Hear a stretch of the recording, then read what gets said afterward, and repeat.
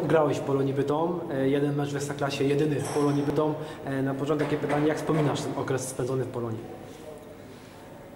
No tak, jedyny występ w Ekstraklasie.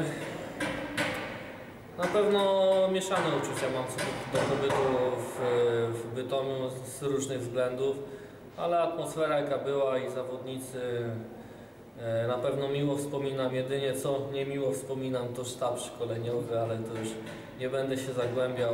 Mecz jedyny, tak jak powiedziałeś, w Ekstraklasie i, i na tym poprzestanie.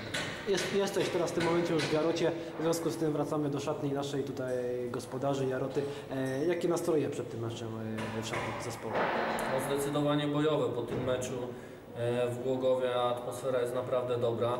Cieszymy się, że znowu gramy wieczorem, bo to jednak takie, takie mecze fajnie się gra, jest atmosfera, jest klimat, przyjdą na pewno kibice, bo też walczą, e, Bytom walczą o utrzymanie i na pewno będzie, będzie to ciekawy mecz, a na pewno nam będzie się dobrze grało, bo jest tam fajna płyta, są światła, także mówię, no tylko grać.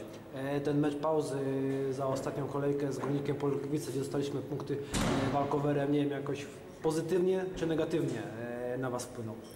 Znaczy ja mogę powiedzieć o sobie, że, że jak już tak gramy, to, to wolałbym ten mikrocykl y, cały czas podtrzymywać meczowy, ale na pewno e, ciężko trenowaliśmy, trochę mieliśmy e, odpuszczone w tamtym tygodniu wolnego, to też powinno e, dobrze wpłynąć i teraz jesteśmy głodni gry i jedziemy.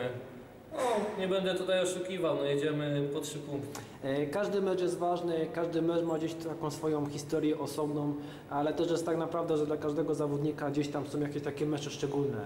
E, Dla Ciebie chyba w tej rundzie właśnie ten mecz na Polonii Bytom jest takim tym meczem szczególnym. No na pewno tak, no żyję, nie będę ukrywał, żyję tym meczem i jeszcze mam kilku znajomych, którzy tam z czasów ekstraklasy występują, czy, czy, czy w klubie e, pracują. I na pewno żyję już od tygodnia tym meczem i, na pewno podwójnie się będę motywował i będę chciał się przypomnieć kibicom, jak i osobom, które tam w klubie są. No właśnie, ta pierwsza bramka dla Joroty już padła, e, trochę wcześniej z rozwojem Katowice, ale ta bramka szczelona na Polonii, tak podwójna satysfakcja myślę będzie.